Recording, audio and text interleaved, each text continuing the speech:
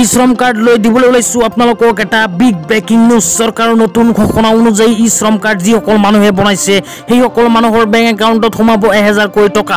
আপোনালোকৰ যদি ই শ্ৰম কাৰ্ড আছে তেন্তে এহেজাৰ টকাকৈ পাবলৈ আপোনালোকৰ কৰিব লাগিব কেইটামান কাম। তো কি কাম কৰিব লাগিব জানিবলৈ ভিডিঅ'টো প্ৰথমৰ পৰা শেষলৈ চাব। আৰু মোৰ চেনেলত নতুন হ'লে এনেকুৱা নতুন নতুন ভিডিঅ' সকলোতকৈ আগত পাবলৈ প্লিজ চেনেলটো ছাবস্ক্ৰাইব কৰি মোৰ লগত থাকিব। তো বলক ভিডিঅ'টো আৰম্ভ কৰি এতিয়া আমি চাই লওঁ যে ই শ্ৰম কাৰ্ডৰ কি কাম কৰিব লাগিব? কি কাম কৰিলে আমি ই শ্ৰম কাৰ্ডৰ এহেজাৰ টকাকৈ বেংক একাউণ্টত লাভ কৰিম? ইয়াৰ কাৰণে আপোনালোকে ক্ৰম ব্ৰাউজাৰ অ'পেন কৰি চাৰ্চ বাৰত চাৰ্চ কৰিব E Shram dot G O' V dot I N. তো E Shram dot G O' V dot I N লিখি আপোনালোকে চাৰ্চ কৰি দিব। চাৰ্চ কৰাৰ পিছত ই শ্ৰম কাৰ্ডৰ অফিচিয়েল ৱেবছাইটটো অ'পেন হ'লে স্ক্ৰল ডাউন কৰি তলত গ'লে লিখা চাব পাৰিব ৰেজিষ্টাৰ অন ই শ্ৰম। তাৰ তলতে লিখা আছে অলৰেডি ৰেজিষ্টাৰ তাৰ ৰাইট চাইডে চাব পাৰিব আপডেট এটা অপশ্যন আছে। আপডেট যে লিখা আছে আপডেট অপশ্যনত কিন্তু আপোনালোকৰ ক্লিক কৰি দিব লাগিব। আপডেট অপশ্যনত ক্লিক কৰাৰ পিছত এনেকুৱা ইণ্টাৰফেচ আহিলে প্ৰথমে লিখা চাব পাৰিব ইউ এ এন নাম্বাৰ ইয়াতে আপোনালোকে ই শ্ৰম কাৰ্ডৰ নাম্বাৰ কেইটা বহাই দিব। তলত চাব পাৰিব ডেট অফ বাৰ্থ ইয়াতে আপোনালোকে নিজৰ নিজৰ ডেট অফ বাৰ্থটো দি দিব। ই শ্ৰম কাৰ্ড বনোৱাৰ সময়ত যিটো ডেট অফ বাৰ্থ দিছে। তাৰপিছত তলত চাব পাৰিব কেপচা। তো ৰাইট চাইডৰ ঘৰত কেপচা কেইটা বহাই জেনেৰেট অ' টি পি যে লিখা আছে জেনেৰেট অ' টি পি অপশ্যনত আপোনালোকৰ ক্লিক কৰি দিব লাগিব। তো মই এই ঘৰবোৰ ফিল আপ কৰি জেনেৰেট অ' টি পিত ক্লিক কৰি আপোনালোকক দেখুৱাই আছোঁ। তো জেনেৰেট অ' টি পিত যেতিয়াই ক্লিক কৰিব আপোনালোকৰ ৰেজিষ্টাৰ মোবাইল নম্বৰত এটা অ' টি পি আহিব।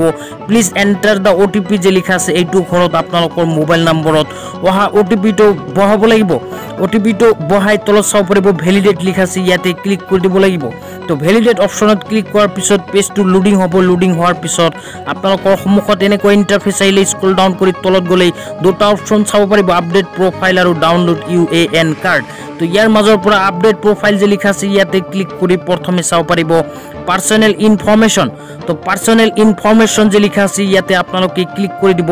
তো পাৰ্চনেল ইনফৰ্মেশ্যনত ক্লিক কৰি দিয়াৰ পিছত এনেকুৱা ইণ্টাৰফেচ আহিলে ইয়েছ যে তলত লিখা আছে ইয়েছ অপশ্যনত আপোনালোকৰ ক্লিক কৰি দিব লাগিব। ইয়েছ অপশ্যনত ক্লিক কৰাৰ পিছত এনেকুৱা ইণ্টাৰফেচ আহিলে ইয়াতে প্ৰথম ৰেজিষ্টাৰ্ড মোবাইল নাম্বাৰ চাব পাৰিব।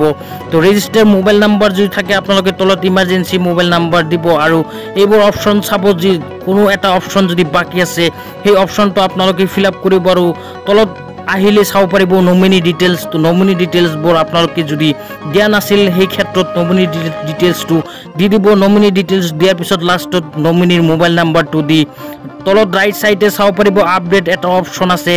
তো আপডেট অপশ্যন যে লিখা আছে আপডেট অপশ্যনত ক্লিক কৰি দিয়াৰ পিছত এনেকুৱা ইণ্টাৰফেচ আহিলে কণ্টিনিউ যে লিখা আছে কণ্টিনিউ অপশ্যনত ক্লিক কৰিব লাগিব।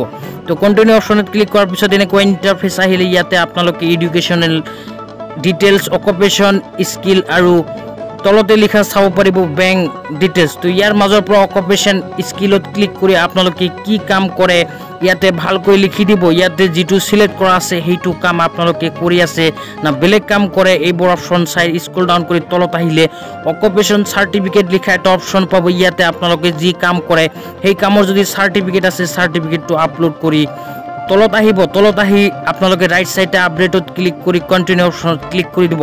ক্লিক কৰি দিয়াৰ পিছত এনেকুৱা ইণ্টাৰফেচ আহিলে আপোনালোকে তলত লেফ্ট চাইডে চাব পাৰিব বেংক একাউণ্ট ডিটেইলছ তো ইয়াতে ক্লিক কৰি এনেকুৱা ইণ্টাৰফেচ আহিলে ইয়েছত ক্লিক কৰি দিয়াৰ লগে লগে কিন্তু আপোনালোকৰ বেংক একাউণ্টৰ ইনফৰ্মেশ্যনখিনি আহি যাব। ইয়াতে আপোনালোকে আপোনালোকৰ বেংক একাউণ্টটো প্ৰথমে চাই ল'ব।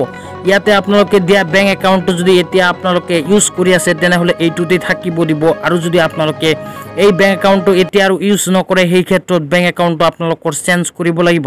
তো বেংক একাউণ্টটো চেঞ্জ কৰি তলত আপডেট অপশ্যনত ক্লিক কৰিব। আপডেট অপশ্যনত ক্লিক কৰাৰ পিছত কণ্টিনিউ যে লিখা আছে কণ্টিনিউ অপশ্যনত ক্লিক কৰি দিব।